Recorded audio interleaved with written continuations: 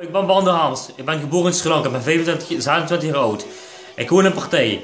Uh, ja, wat wil ik zeggen? Ik uh, ben geadopteerd door Nederlandse ouders uh, in 1991.